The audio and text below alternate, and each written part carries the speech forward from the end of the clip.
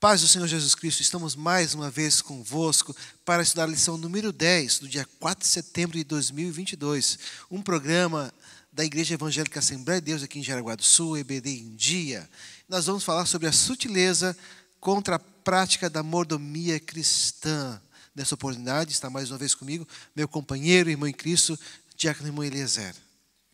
Paz do Senhor, irmão Luiz, paz do Senhor a todos que nos ouvem. É uma grata, grata satisfação de estarmos aqui juntamente aqui aprendendo a palavra de Deus mais uma vez.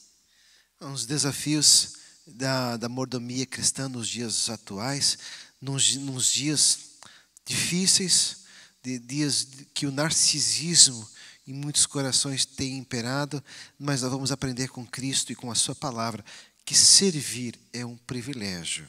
E hoje vai falar basicamente sobre a questão de finanças. Que tema polêmico, né? Falar sobre finanças. Nós vamos aqui dar algumas pinceladas só de alguns temas sobre a questão de servir a Cristo com todo o seu ser. E o nosso texto áureo, Eliezer? Nosso texto áureo estará em Gênesis capítulo 14, versículo 20. Vai dizer assim a parte A: e Abraão deu-lhe o dízimo de tudo.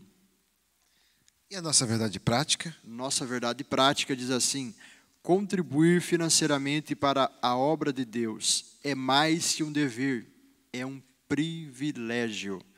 É a expressão de gratidão ao Pai por todas as suas bênçãos dispensadas. Que privilégio, irmão Luiz. É. A Bíblia ela vai nos ensinar que a fé, a fé é o princípio de tudo. Nós não, não temos como nos, nos achegar a Deus sem acreditar que ele, é, que ele existe. Então, a fé, nós temos vários, vários níveis de fé. Mas, quando fala muitas vezes de questão financeira, né, por causa de alguns maus exemplos, a gente cria alguns paradigmas, alguns rótulos. Mas a gente vai estar vendo também nessa oportunidade quanto Deus é fiel para com aquele que é fiel. Você vê que a instrumentalidade, como Deus nos dá o privilégio de sermos instrumentos para a cooperação da obra de Deus. E que tudo que temos não é nosso, não é só o dinheiro, não é só as finanças. Nosso tudo, irmão, tudo pertence a Cristo. A gente vai estar vendo tudo é de Cristo. E porque nele vivemos, e nele nos movemos, e nele acreditamos num futuro, num, num presente vindouro, né? Que estaremos com ele na glória. Mas aqui na terra, irmãos, ele também nos abençoa muito, muito, muito. E a nossa liberalidade financeira eh, vai falar de muitas coisas. Vou estar falando sobre a diferença também, né? De muitos irmãos que decidiram ser fiéis a Deus na prática, na prática financeira. E como Deus, irmãos, é galardoador, como Deus é recompensador, como Deus ama essa questão da, da questão financeira. Amém. A nossa leitura bíblica em classe está em Gênesis capítulo 14, versículo 17 ao 20, que vai dizer: E o rei de Sodoma saiu e lhes ao encontro, depois que voltou de ferir a Kedor Laomer e os reis que estavam com ele, no vale de Savé, que é o vale do rei. E Melquisedeque, rei de Salém, trouxe pão e vinho, e este era sacerdote do Deus Altíssimo. E abençoou e disse: Bendito seja Abraão do Deus Altíssimo, o possuidor dos céus e da terra. E bendito seja o Deus Altíssimo, que entregou os teus inimigos nas tuas mãos e deu-lhe o dízimo de tudo. Glórias a Deus. Vamos falar da nossa introdução. Vai nos dizer assim: nessa lição abordaremos a doutrina bíblica da mordomia cristã. Há muitos equívocos, incompreensões, distorções em torno dessa doutrina. Como o irmão Luiz já falou, muita polêmica envolvida, né? Isso tem feito que ela que essa isso tem feito com que essa tenha sido maliciosamente rejeitada e combatida por parte de muitos. Em primeiro lugar, deve ser observado que mordomia aqui tem o sentido de administrar. Professor, grave bem isso, ensine é, bem isso aos seus alunos.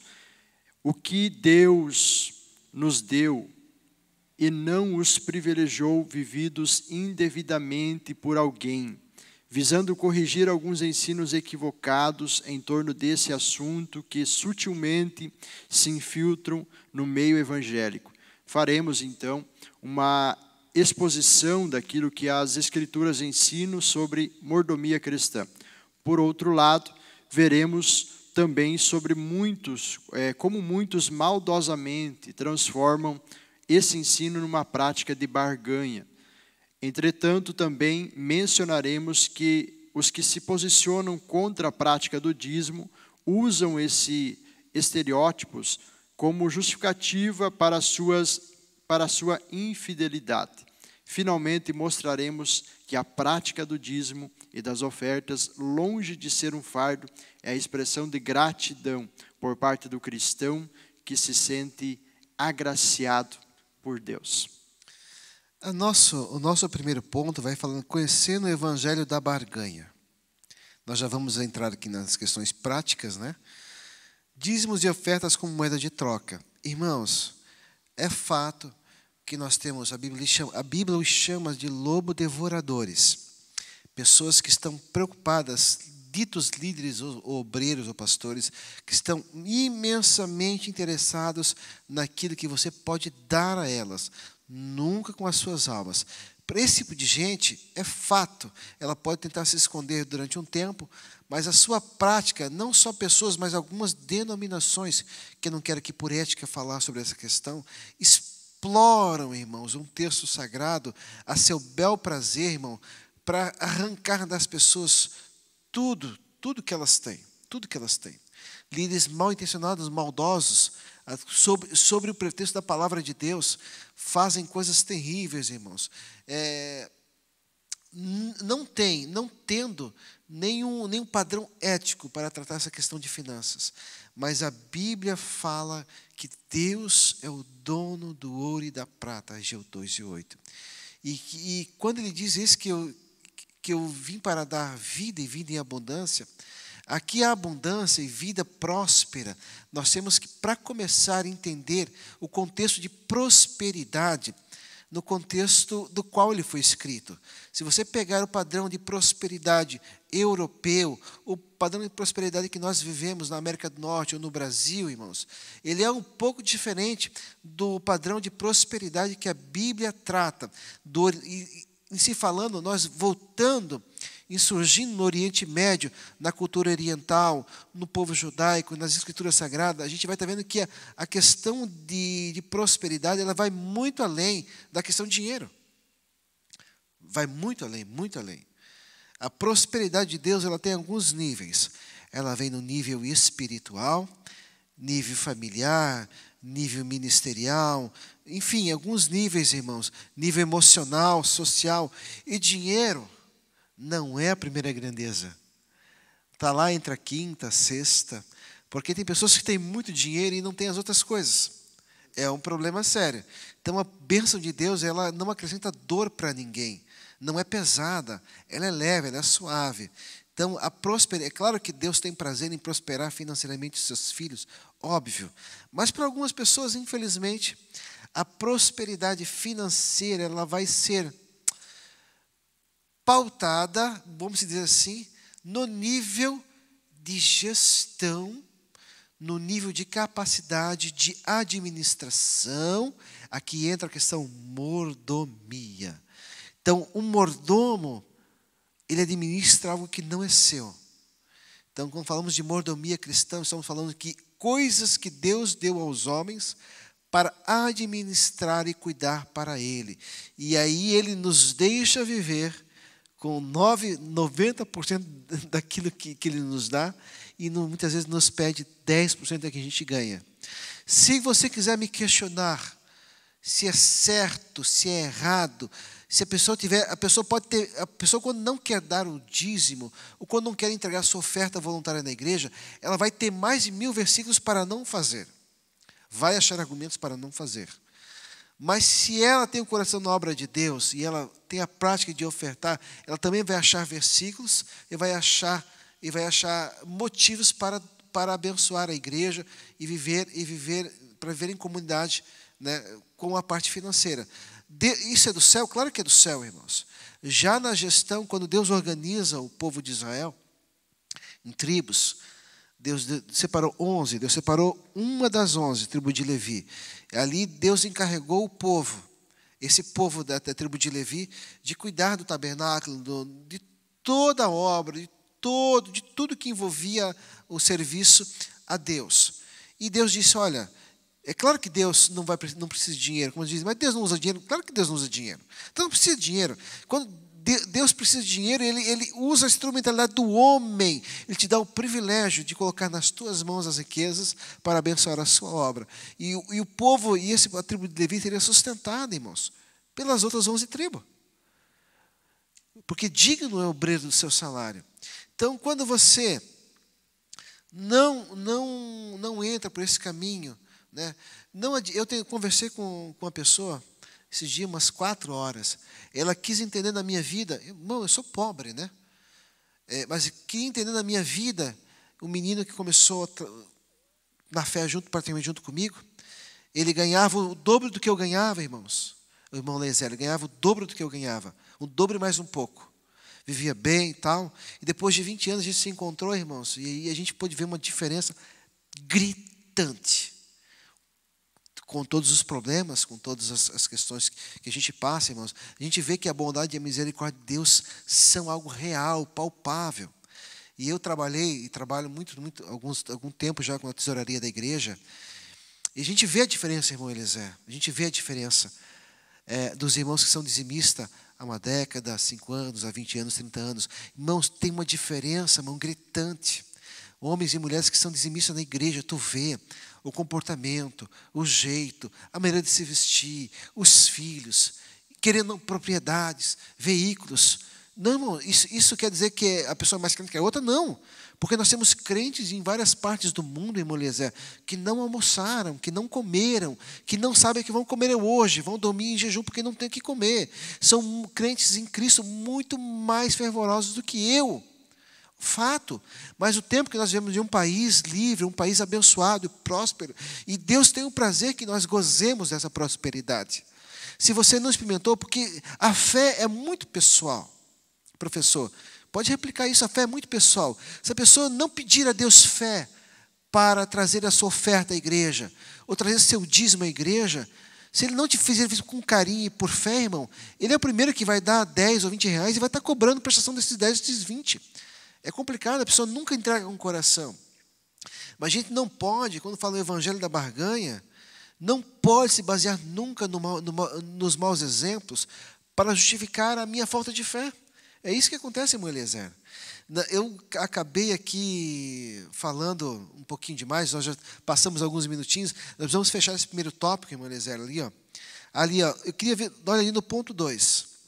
Dízimos e ofertas como práticas legalistas. E o primeiro ponto, dízimos e ofertas como moeda de troca. Com Deus, Deus não faz negócio com a gente, não, irmão. Esquece. Se te prometeram que você vai vir para a igreja, você vai dar 10, vai ganhar 20, a, abandone isso. Esqueça, esqueça. Isso não vai acontecer. Você vai ficar frustrado, muitas vezes brabo com o evangelho, ou brabo até com o líder, que te, ou líder, entre aspas, que te induziu a fazer isso.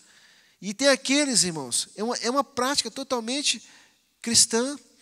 Antes, ela foi instituída antes da lei, ela foi, ela foi praticada na igreja primitiva, a gente vai estar vendo, não foi só na antiga, na antiga aliança, irmãos. O dízimo, irmão, é uma oportunidade que Deus te dá. Não esqueça, professor. Lembre disso. É uma oportunidade divina para você ser abençoado. Amém. Encerrando né, esse nosso tópico aqui, algo que nunca deve faltar no nosso coração: gratidão, né, irmão Luiz? O irmão Luiz já comentou aqui. Gratidão é algo que sempre deve estar na vida do cristão. Uma pessoa que é grata a Deus não é grata por um salário bom, não é grata por um salário enorme, né? um carro do ano, uma casa. A pessoa que é grata a Deus, ela já é grata quando ela acorda. Deus, obrigado por esse dia. Obrigado por eu estar respirando. Isso que é gratidão. Essa é a essência da gratidão. As, as demais coisas simplesmente vai vir como consequência. Uma pessoa que é, é grata naquilo que, às vezes, muitas não conseguem enxergar, não conseguem ver e muito menos conseguem ser grata. Então, estimule, professor, aos seus alunos serem mais gratos a Deus, serem mais gratos pela vida deles no evangelho que muitas vezes nós vivemos de, de barganha, de legalismo, aonde pessoas, infelizmente, usam a palavra de Deus para dizer que eu estou colocando Deus contra a parede. Ou seja, aqui falando de legalismo, se, se eu não der o dízimo, eu, vou, eu não vou ter salva, salvação. Isso gera uma grande polêmica. A pessoa vai, vai lá para o outro lado, né? começa a engessar, começa a virar aquilo, simplesmente isso que, que é? Sutileza do inimigo para trazer distorção, para trazer equívocos, ou seja, pessoa que não tem discernimento da palavra de Deus. Né? Então, que venhamos ter discernimento da palavra de Deus. Alguns líderes, que, quando descamam para esse lado aí, é a mesma coisa que voltar à Idade Média com a venda das indulgências. Um pecado terrível. Nós precisamos chamar o nosso primeiro break e já estamos de volta com a sua IBD em Dia. Olá pessoal, quero fazer um convite especial a vocês. Eu sou pastor da Igreja Assembleia de Deus aqui em Jaraguá do Sul e todas as quintas-feiras nós temos aqui a Noite do Propósito às 19h30. Você é bem-vindo para estar conosco em uma dessas reuniões. Separe um tempo de qualidade na sua vida e venha participar conosco dessa reunião abençoada. Você é bem-vindo em nome de Jesus. Já estamos de volta, já estamos iniciando nosso segundo, nosso segundo tópico da nossa lição, falar doutrina bíblica do dízimo sob ataque. Aqui eu quero pedir para o irmão Lezé ler alguns pontos e eu já vou pincelar também, irmãos, você professor, fale abertamente, dízimo é divino, dízimo é uma bênção, dízimo é para quem tem fé. E quem não tem, peça, irmãos, peça que Deus dá. Amém, né? Então a doutrina bíblica do dízimo sobre ataque, nosso subtópico 1, o dízimo era uma prática da lei. Então, isso muitos, irmão Luiz, se aproveitam daquilo que os maus obreiros ensinam e praticam sobre o dízimo para se eximiram desse dever cristão. A alegação mais comum dentre muitas coisas que existem é a prática que, que é a prática do dízimo, que era um preceito mosaico. E aí, infelizmente, irmão Luiz, ele se perde, é, há um equívoco grande aí dizendo que ah, o dízimo era no tempo da lei. Aí já está lá no nosso texto áureo, já está lá na nossa leitura bíblica em classe, que o dízimo já era antes da lei. Ali a gente já vai ver Melquisedeque, né?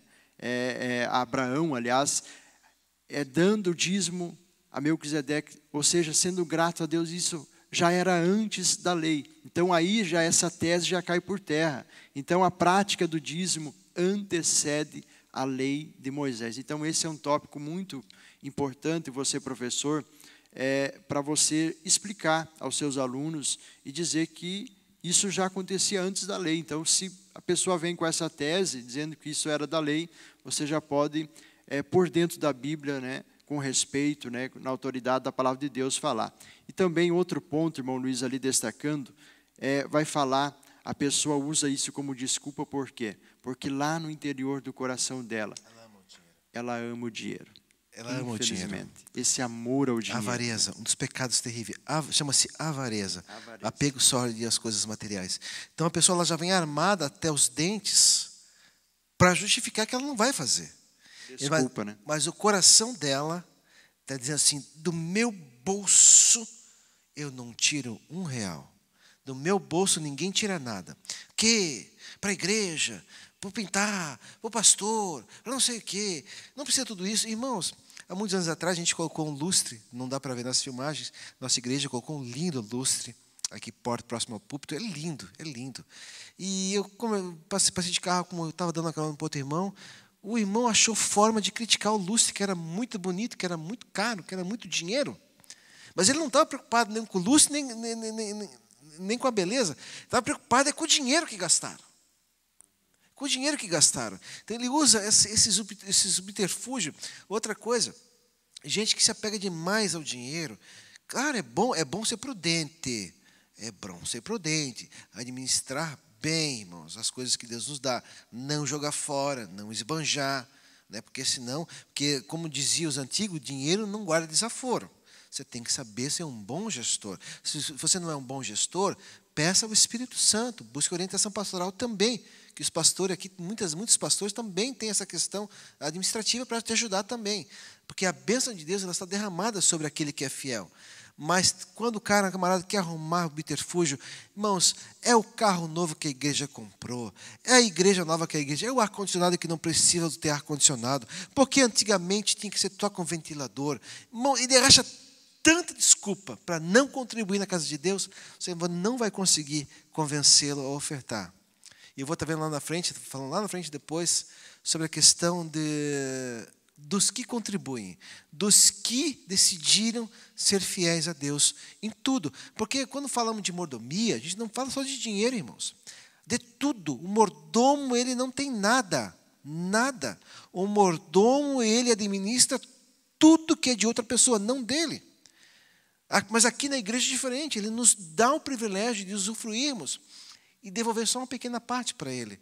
Isso é uma honra. É, essa conta, esse Deus é maravilhoso, irmão. Esse Deus é maravilhoso. Exatamente, Deus, né? Essa devolução, né? Então destaque bem essa questão que o dízimo você não não dá o dízimo, você não paga o dízimo, você devolve o dízimo, né? O dízimo como contribuição imposta. Então essa é outra desculpa que é colocada, infelizmente, como o equívoco, né? como falta de interpretação da palavra de Deus. Então, aqueles que também dizem que não devolvem é, seus dízimos porque hoje, hoje porque considera uma prática imposta, porque é algo que ah, é obrigatório dar. Se eu vou na igreja, é, eu participo da, de alguma área da igreja, eu sou obrigado a dar o dízimo. Então, de acordo com aqueles que pensam assim, não haveria nada no Novo Testamento que respaldaria a entrega do dízimo. Então, essa é a, a desculpa né, que eles dão. Então, dessa forma, entende que o fiel deve ofertar quando ele quer, onde ele quer, da forma que ele quiser. Então, essa é a maneira que eles enxergam. Então, essa parece bastante é, ser uma tese bastante piedosa. Contudo, não resiste nem mesmo a um único princípio revelado nas Escrituras. Sobre o quê? Sobre que o lugar das ofertas no culto cristão. Então, quando Paulo ele lembrou a igreja de Corinto que era o dever de cuidar do sustento dos obreiros, ele recorreu aonde? Ao princípio levítico. Olha só o que ele diz lá em 1 Coríntios capítulo 9, versículo 13. Vocês não sabem que os que prestam serviços sagrados se alimentam do próprio templo e os que servem ao altar participam do que é oferecido sobre o altar? Então veja só. Então é preciso simplesmente haver um discernimento, haver uma leitura mais da palavra de Deus, uma explicação. Né? Talvez você precise sentar com, com essa pessoa, explicar a ela, né? mostrar aonde está escrito, explicar por que está escrito ali. Né? Então, é preciso haver né? É uma comunicação eficaz nesse sentido, para não haver esses equívocos aí. Né? É em Malaquias 13,10, o único lugar na Bíblia que Deus permite que o homem faça prova com Deus, único, é quando fala da questão financeira, de valores, fala das cifras. Irmãos, porque não é fácil. O povo, o povo, o povo crente, o povo cristão é um povo bem instruído, é um povo estudado, irmãos. Nossos jovens, nós temos um, público muito, muito seleto na questão de educação, irmão. Um povo que lê, um povo que interage, um povo formado. Irmãos, não tem como você, a pessoa se achar por enganada 10, tu pode até enganar uma pessoa um ano, um ano e pouco. Você, é impossível, irmão Eliezer, se não houvesse por parte de Deus uma recompensa, uma retribuição, uma generosidade divina. É impossível você pegar uma pessoa, por mais leia que seja, fazer, e, e, e, e ver e fazer, e, entender que ela vai passar 10 anos, 20 anos, 30 anos, 40 anos, 50 anos dizimando na casa do Senhor, se não tivesse uma lei da recompensa, a pessoa até que poderia durar uma década, né? Por muito, né? Mas tem gente que, que, que serve ao Senhor com, com suas propriedades, com o seu trabalho, 70, 80 anos, fazendo alguma, alguma, alguma espécie de artesanato no, no, final dos seus dias, dando dízimo ao Senhor. Porque, irmão, tem recompensa. Tem recompensa. Nós temos o público mais simples, mais humilde, temos doutores, mestres né, no nosso meio. Irmãos, então assim, se, não tiver, se Deus não tivesse nesse negócio, não, não ia para frente. Mas nós vemos que quanto mais o povo é liberal para a obra de Deus, mais Deus tem prazer em abençoar o seu povo, irmão. Porque nós não, nunca vamos ter mais para dar para Deus do que Deus para dar para nós. Já falei algumas vezes, envolve mordomia, envolve capacidade também, né? Que Deus não dá faca, uma faca afiada, né? Para muitos, para se machucar. Algumas pessoas não saberiam lidar com algumas, com algumas coisas. Então, Deus, nossos irmãos em Cristo, né, vamos, vamos juntos para o céu. Uns né, vão viver uma questão mais abastada financeiramente, outros não. Mas, como eu repito mais uma vez, envolve mordomia. Exatamente, que nós sejamos bons administradores das coisas de Deus que Deus concedeu a nós, Deus nos deu esse privilégio de administrar todas as coisas que colocamos em nossas mãos. Né? E nós vamos, nesse momento, chamar mais um intervalo e já já estamos de volta.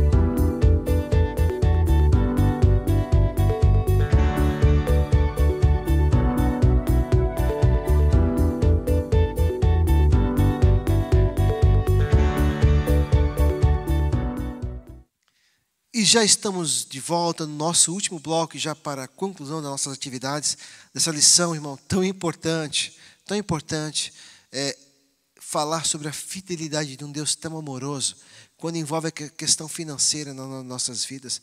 Deus é bom o tempo todo, o tempo todo Deus é bom. Nós nunca, o Salmo 116 diz, que darei eu ao Senhor por todos os benefícios que me tem feito. Se não me engano é o verso 3 ou 4.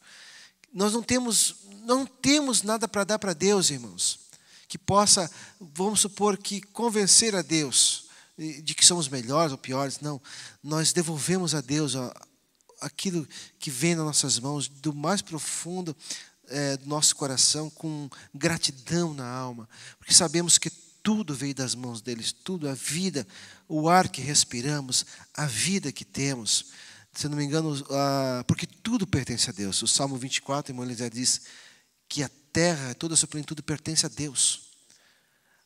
Toda a criação, todo o universo, imaterial, material, universo visível, universo invisível, foi tudo o Senhor criou. Ele é poderosíssimo nas suas obras. Para Ele, tudo é nada, irmãos.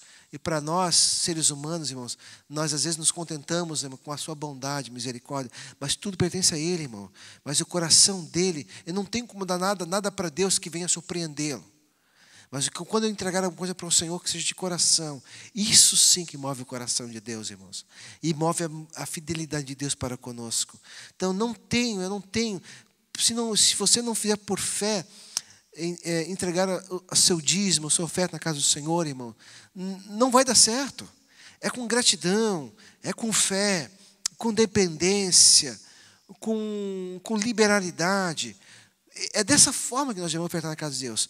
Questão financeira, nossa vida, nossos bens, porque como mordomos nós não temos nada. Nada. Nós não trouxemos nada para esse mundo e não vamos levar nada desse mundo.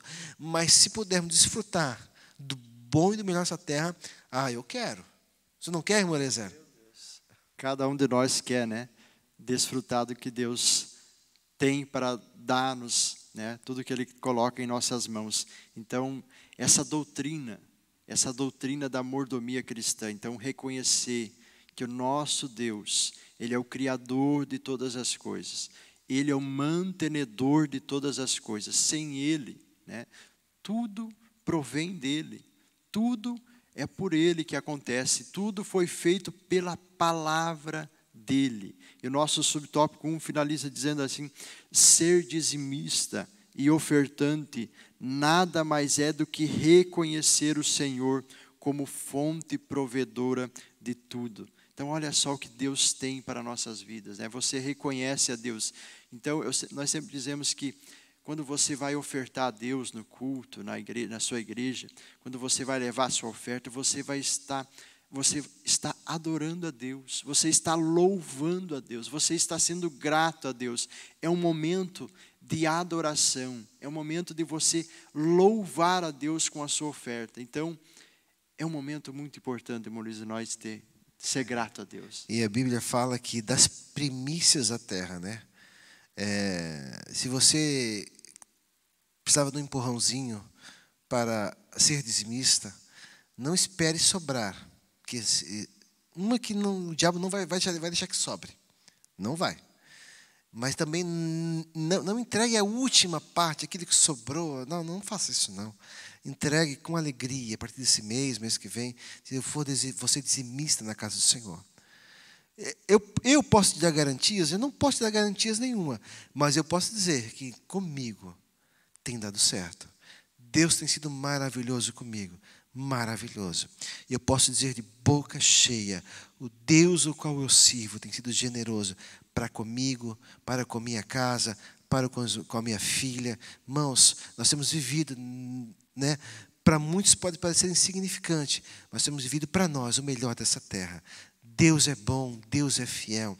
Não queira baganhar com Deus, mas queira viver na dependência, entregando aquilo que não é seu, que é do Senhor, entendendo que nada do que você tem é seu, nada, nada. Você não vai levar nada daqui. E se Jesus chamar a nossa senha, esse ano, o ano que vem, né? A gente não leva nada, queridos, não leva nada. Então faça por amor, faça com, com generosidade, faça com liberalidade. E, de, e assim, por certo, Deus vai te abençoar. E aí então, o próprio Deus se responsabilizando agora, façam prova de mim. E vocês verão se tem diferença ou não tem diferença. Meu Deus, que tremendo, né? Nosso subtópico 2, o homem como dispenseiro e administrador das coisas de Deus. Outro princípio igualmente importante que concerne a mordomia cristã está no fato do homem ser dispenseiro das coisas que Deus criou. Ou seja, você ser simplesmente uma pessoa que está ali cuidando. Não é seu, como já foi falado aqui, não é nada seu. Tudo provém de Deus. Deus é o provedor de tudo. Então, esse fato já aparece aonde? Nós já falamos aqui no início da nossa lição, lá no jardim do Éden. Adão foi colocado lá no, no meio do jardim para, para o quê? Para cuidar do jardim. Mas foi Adão que criou o jardim? Não. Foi Deus que criou. Adão simplesmente estava ali cuidando do jardim de Deus. Então, para compreender mordomia a mordomia bíblica faz-se necessário saber se somos dispenseiros e administradores daquilo que Deus nos deu. No Novo Testamento, o apóstolo trata desse assunto de esfera ministerial, que esses homens, lá em 1 Coríntios capítulo 4, versículo 1, vai dizer assim, que os homens nos considerem como ministros de Cristo e dispenseiros dos ministérios de Deus. Então, somos dispenseiros, não somos donos.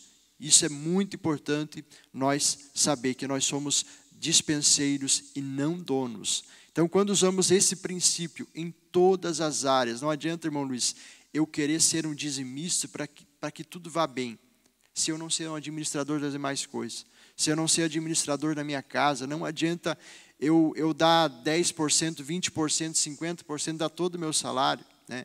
e eu não ser um administrador das coisas. Se eu, eu posso ser uma pessoa mais fiel ofertante, mas se eu não, não cuidar, se eu não reconhecer e não ser um administrador das demais coisas, não adianta de nada. Então eu preciso dar com alegria, devolver com alegria o dízimo, as ofertas, contribuir com amor, com gratidão no coração. e ser um dispenseiro das coisas de Deus, ser um administrador também em todas as áreas. Peça a Deus sabedoria e Deus lhe dá. Deus lhe concederá sabedoria para tu fazer, para tu agir, tu vai ver que Deus vai estar agindo na sua casa, na sua família, aonde você colocar a mão, haverá prosperidade, Deus vai vai mudar aquele ambiente. É, outra coisa que eu venho pensando aqui, importantíssimo falar, meus queridos. Você que está na sua casa, você é professor, não esqueça. Outra coisa, existe, existe um grupo que faz a gestão do dízimo. O que é a gestão do dízimo? Ele manda, ele manda uma fatia para a igreja onde ele congrega. Aí, do dízimo ele manda lá para não sei aonde, para não sei aonde, para missionário não sei aonde, pega uma cesta básica não sei aonde. Bom fazer trabalho social, sim, ótimo. Mas o dízimo não é seu. Dízimo se entrega na casa de Deus. Dízimo que administra o seu obreiro, a igreja local. Você quer mandar oferta para outros locais? Legal, manda dar oferta voluntária. Agora, o dízimo não é para ser fatiado. Você não pode é, fatiar o que não é seu, irmão. Se eu disse, eu digo que 10% do que eu ganho é do Senhor, o que, que eu Ah, mas eu vou mandar cesta básica. Mande como oferta voluntária, mas não tire do dízimo sagrado, porque disso Deus não, Deus não se agrada, irmão. Deus não se agrada, isso é muito forte. É muito forte. Tem base bíblica para dizer isso? Tenho também. Não tem problema, pode me procurar no meu particular e eu vou, eu vou te esclarecer algumas questões. Dízimo, dízimo é na igreja, irmãos. Tem mês que você vai vir alegre, contente, de forma voluntária, mas tem mês que vai ser apertado. A oferta Deus aceita só com alegria. O dízimo, irmão, às vezes você tem que dar até chorando. É, irmão, é mais ou menos isso. Sabe por quê? Porque muitas vezes a tua fé como dizimista vai ser provada. Muitas vezes eu fui atacado pelo diabo dizendo assim: olha, você não é dizimista, olha aí, tudo quebrando, tudo indo mal, indo pior. E eu ali entregando minha, meu trabalho ao Senhor, para a glória de Deus.